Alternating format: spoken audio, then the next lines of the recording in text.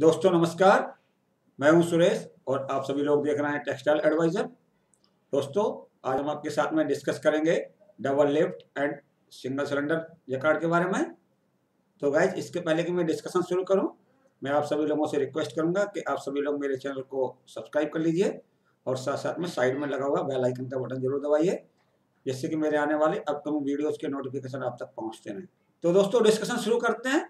जैसा मैंने आपको पहले बताया, आज के डिस्कशन का टॉपिक है double lift and single cylinder jacquard तो गाइस मैं आपको इस वीडियो के माध्यम से बताऊँगा double lift and single cylinder jacquard का स्ट्रक्चर किस तरीके से होता है और double lift and single cylinder jacquard का वर्किंग प्रिंसिपल क्या होता है। बट गाइज़ इसके पहले मैं आपको बताता हूँ कि जो हमारा single lift single cylinder jacquard होता है तो वो double lift and single cylinder jacquard से किस तरीके से भिन्न होता है? मतलब दोनों में डिफरेंस क्या होता है? तो गाइस मैंने अपने लास्ट वीडियो में डिस्कस किया था। मैंने आपको बताया था single lift and single cylinder jacquard के बारे में।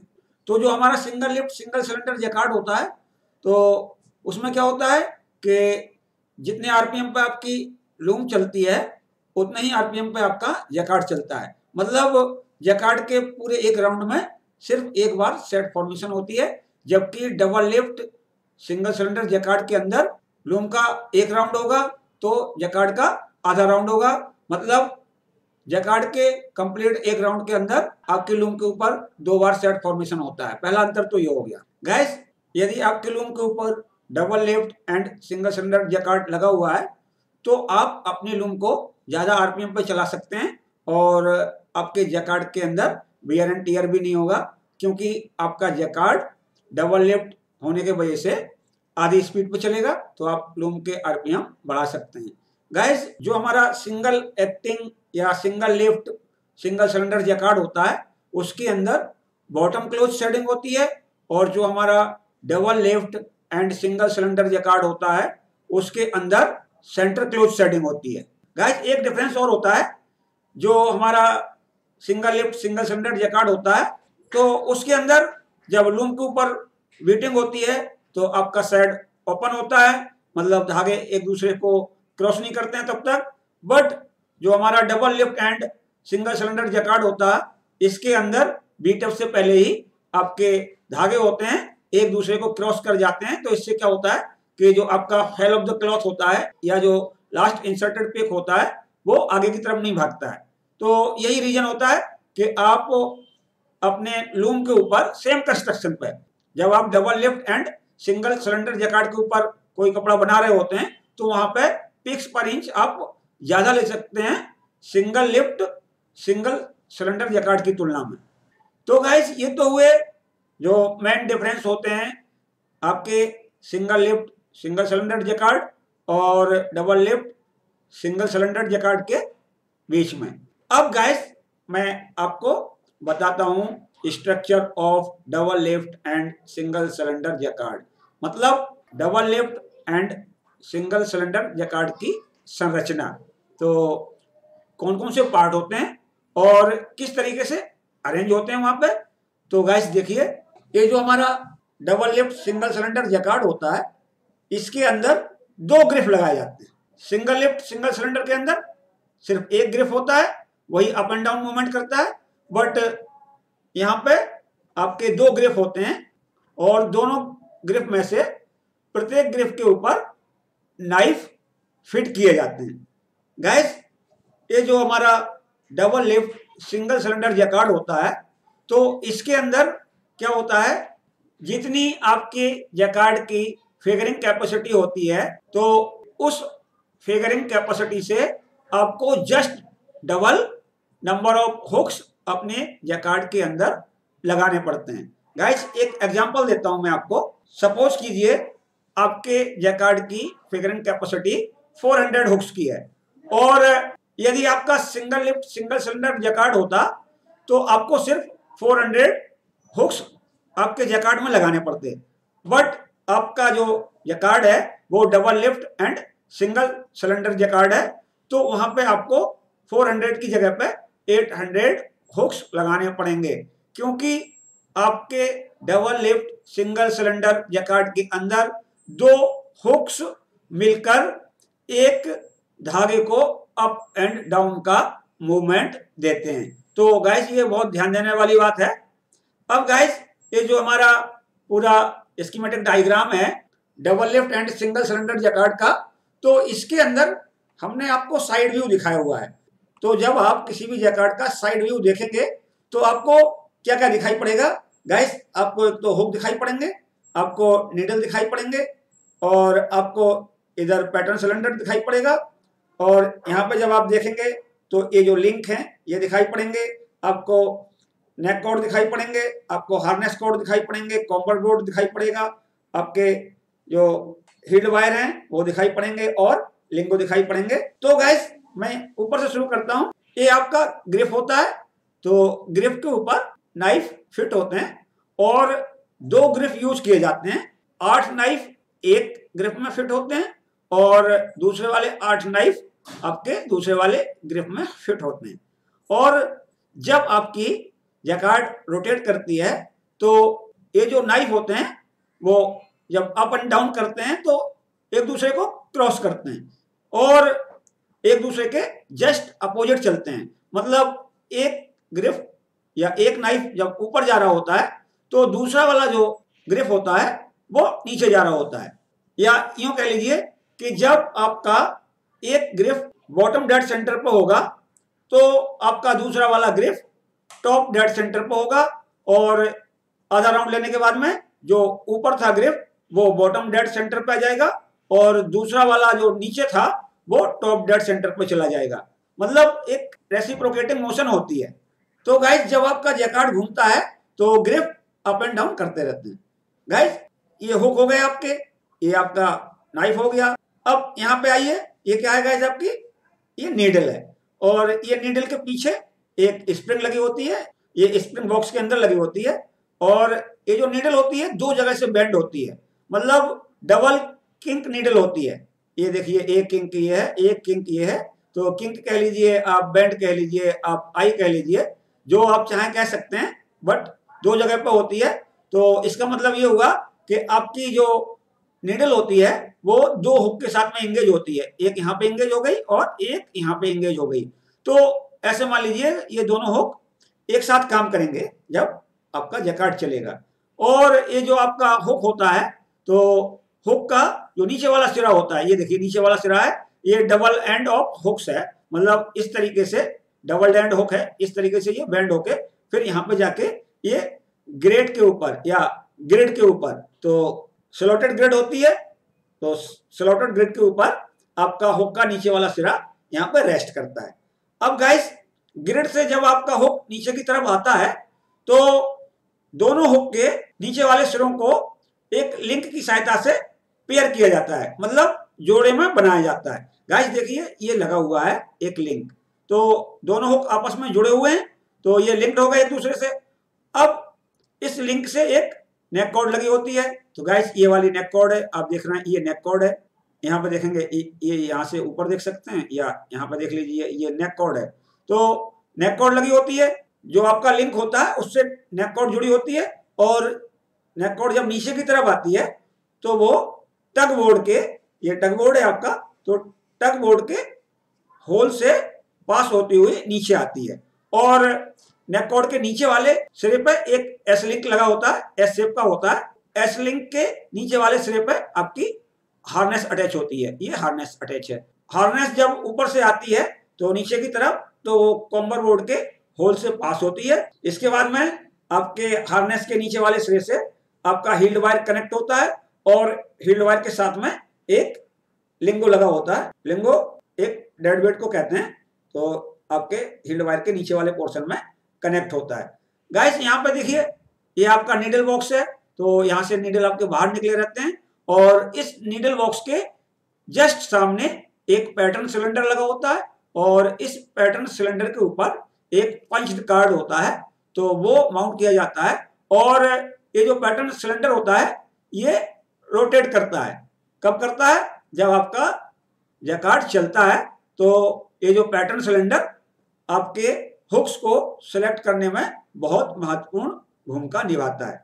तो गाइस ये तो हुआ आपका structure of double lift and single cylinder jacquard guys अब मैं आपको बताता हूँ working principle of double lift and single cylinder jacquard मतलब जो आपका डबल लिफ्ट और सिंगल सिलेंडर जैकार्ड होता है, उसका वर्क करने का या काम करने का क्या सिद्धांत होता है, या आपके हुक्स किस तरीके से सिलेक्ट होते हैं और आपके धागे किस तरीके से उठते हैं। तो गाइस मेरे वीडियो के साथ में अंत तक ज़रूर बने रहिए, तभी आपको ये सारा टॉपिक अच्छे तरीके से क्लियर होगा। मैं आपको step by step double left and single cylinder jacquard की वर्किंग बताता हूँ। गाइस ये जो double lift and single cylinder jacquard होता है तो इसके अंदर क्या होता है कि आपकी जो लूम जब दो राउंड लेती है मतलब लूम के जब दो रेवल्यूशन होते हैं तो आपके double lift and single cylinder jacquard का एक रेवल्यूशन होता है। इसका मतलब ये हो गया कि आपके जैकार्ड का एक रेवल्यूशन और आपकी बॉटम शाफ्ट का जो रेवल्यूशन होगा, एक दोनों बराबर होते हैं। मतलब बॉटम शाफ्ट का आरपीएम और जैकार्ड का आरपीएम आपको बराबर रखना है, क्योंकि आपके double lift and single cylinder jacquard के अंदर, जैकार्ड के एक राउंड होने पर आपका दो बार सेट फॉर्मेशन होता है।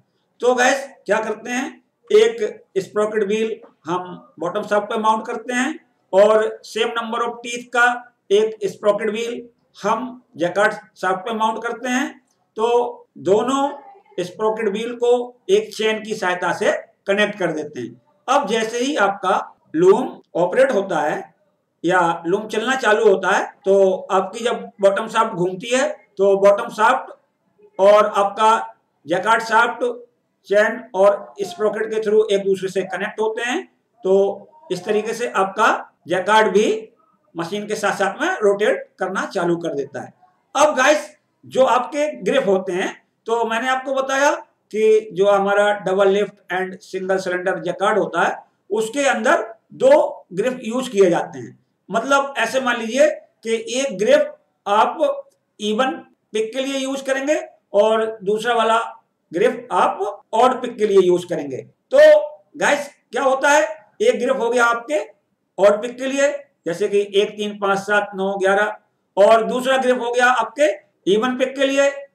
जैसे कि दो, चार, छह, आठ, दस, बारह एंड सोन तो जब आपका जैकार्ड चलता है तो जो आपका इवन पिक वाला ग्रिप है, मान लीजिए उसकी टॉप पोजीशन है तो जो ऑड पिक वाला ग्रिप होगा, उसकी बिल्कुल लोएस्ट पोजीशन होगी। तो गाइज़ जब आपका कोई सा भी ग्रिप चाहे वो इवन पिक वाला ग्रिप हो, चाहे वो ऑड पिक वाला ग्रिप हो, जब वो बॉटम डेड सेंटर पे आ जाता है मतलब जितना उसको नीचे की तरफ़ आना है, वो आ जाता है। तो नीचे की तरफ़ कब आएगा? जब आपका जो हुक होता है, ये आप देख रहे हो, जब ये ग्रिड के ऊपर रेस्ट करता है तो मान लीजिए कि आपका जो ग्रिप है, नीचे की तरफ़ पूरा लगभग आ चुका है। तो क्या होता है गाइस कि ये जो हुक होते हैं तो इनसे थोड़ा सा नीचे आता है वो, जिससे कि आपका हुक जो सिलेक्ट होना है, वो हो जाए, और जिसको पीछे की तरफ़ डिफ्लेक्ट होना है वो डिसंगेज हो जाए। तो जैसे ही आपका ग्रेफ बॉटम डेड सेंटर पे आता है, उसके बाद में फिर आपका सिलेक्शन होता है। तो गैस ये आपका पैटर्न सिलेंडर है। पैटर्न सिलेंडर क्या करेगा गैस इसको पुश करेगा। आपके जो सिलेक्शन नीडल हैं, उनके फ्रंट एंड को पुश करता है।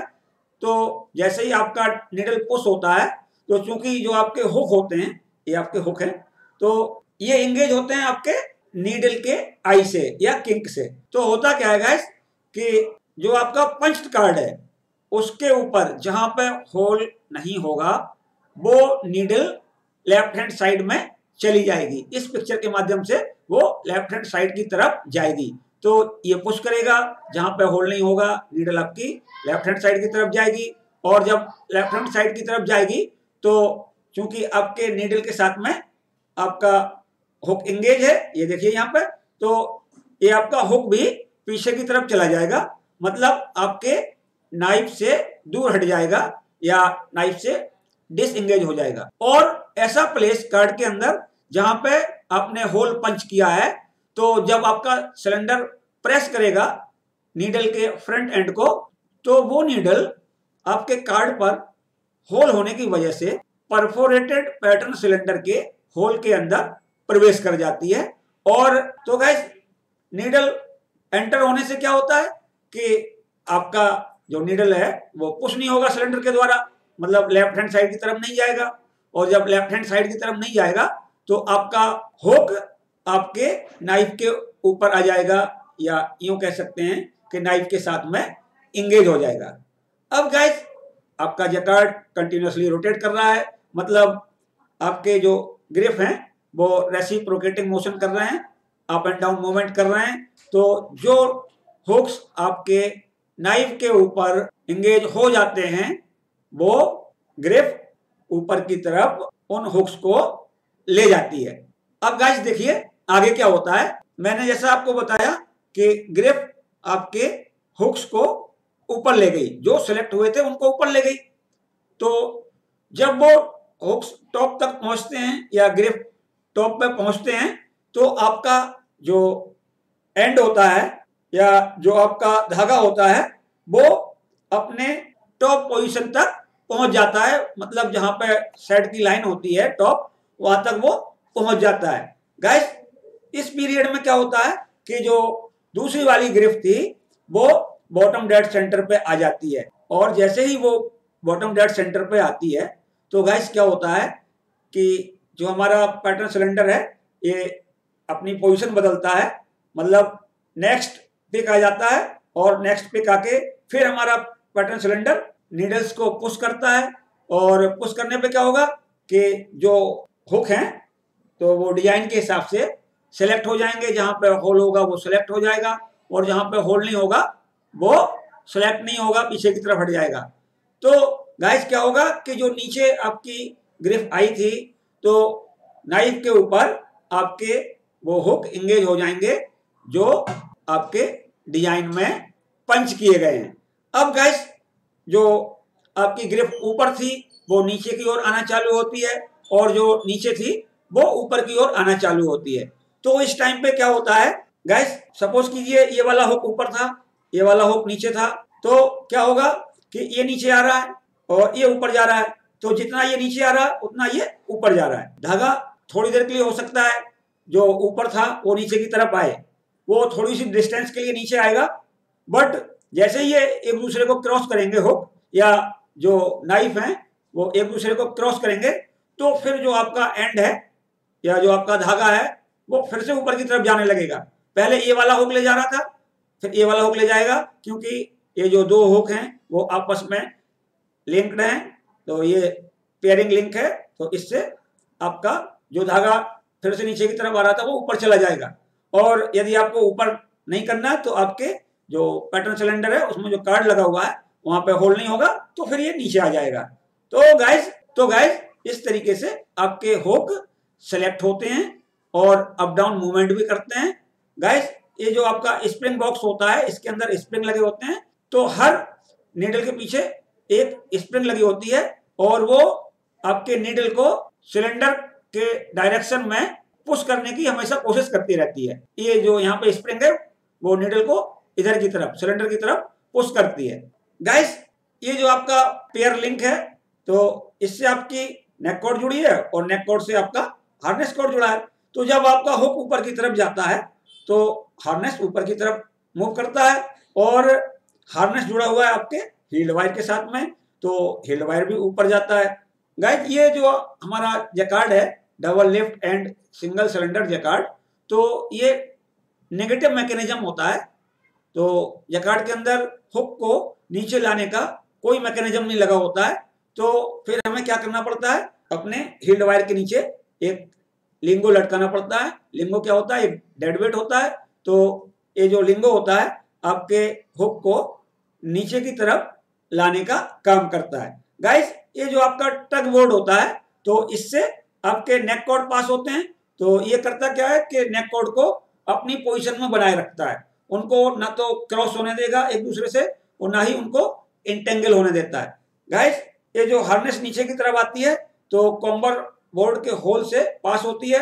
तो कॉम्बर बोर्ड का भी यही काम है। ये आपके हार्नेस को अपनी पोजीशन में रखता है। एक हार्नेस को बगल वाली हार्नेस से या पीछे वाली हार्नेस से क्रॉस नहीं होने देता है। तो गाइज़ इस तरीके से आपका जो double lift and single cylinder jacquard होता है, वो वर्क करता रहता है। तो गाइज़ इसका एडवांटेज मैंने आपको पहले भी बता दिया और अभी भी बता देता हूँ। तो गाइज़ इसमें सबसे बड़ा एडवांटेज ये होता है कि आपके लूम के ऊपर आरपीएम बढ़ जाते हैं। मतलब आपके लूम की प्रोडक्टिविटी बढ़ जाती है। तो उससे आपका जो वीविंग कॉस्ट होता है वो भी घट जाता है। तो गाइज़ इस तरीके से मैंने आपके साथ में तीन बातें डिस्कस की। एक तो हमने डिफरेंस बताया सिंगल लिफ्ट सिंगल सिलेंडर और double lift and single cylinder jacquard के बारे में। और हमने आपको स्ट्रक्चर बताया double lift and single cylinder jacquard का। और हमने वर्किंग प्रिंसिपल भी आप सभी लोगों के साथ में डिस्कस किया double lift and single cylinder jacquard का। तो गाइज़ देख के बताइए, मेरा वीडियो कैसा लगा? यदि आपको मेरा वीडियो अच्छा लगे तो आप लाइक का बटन दबाएँ, अपने दोस्तों में शेयर करें। और गाइस यदि आपने अभी तक मेरे चैनल को सब्सक्राइब नहीं किया है तो कृपया मेरे चैनल को सब्सक्राइब कर लीजिए। साथ साथ में साइड में लगा हुआ बेल आइकन का बटन दबा दीजिए, जिससे कि मेरे आने वाले अपकमिंग वीडियोज़ के नोटिफिकेशन आप तक पहुँचते रहें। वीडियो देखने के लिए धन्यवाद।